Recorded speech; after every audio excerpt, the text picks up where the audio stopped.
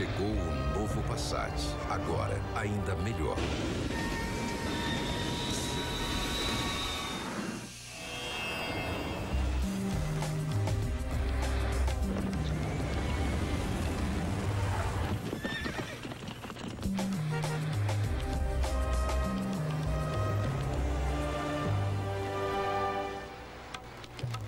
Novo Passat. Todo respeito é pouco.